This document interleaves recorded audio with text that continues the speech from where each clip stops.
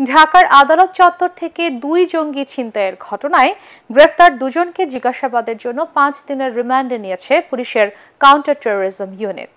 গ্রেফতারকৃতদের মধ্যে একজন জঙ্গি ছিনতাইয়ের মূল সমন্বয়ক ফাতেমা তাসনিম ওরফে শিখা।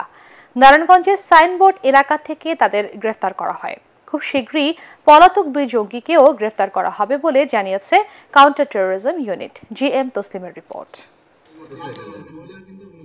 দু হাজার বাইশ সালের ২০ নভেম্বর ঢাকার নিম্ন আদালত থেকে পুলিশের চোখে স্প্রে করে প্রকাশক ফয়সাল আরেফিন দীপনকে হত্যার দায়ে মৃত্যুদণ্ডপ্রাপ্ত দুই জঙ্গি মইনুল হাসান শামীম এবং আবু সিদ্দিক সোহেলকে ছিনিয়ে নেয় তার সহযোগীরা।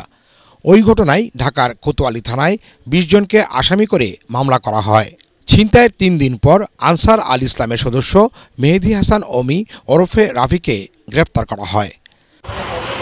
ঘটনার পাঁচ মাস পর জঙ্গি ছিনতাইয়ের ঘটনায় দুই নারীকে নারায়ণগঞ্জ থেকে গ্রেফতার করে কাউন্টার টেরোরিজম ইউনিট। পরিকল্পনা মাফিক, দুইটা ভাগে বিভক্ত হয়ে একটি গ্রুপ, এই ছিনতাইকৃত দুইজন জঙ্গিকে নিয়ে সদরঘাটের দিকে চলে যায় এবং শিখা সহ আরেকটি গ্রুপ অন্য রুট দিয়ে তারা চলে যায় এবং তাদের পূর্ব পরিকল্পনা মোতাবেক তারা একটি আনসার হাউজে গিয়ে মিলিত হয়।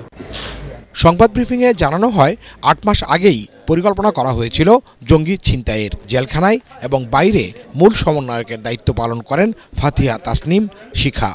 গ্রেফতারকৃত শিখা পালিয়ে যাওয়া জঙ্গি সোহেলের স্ত্রী।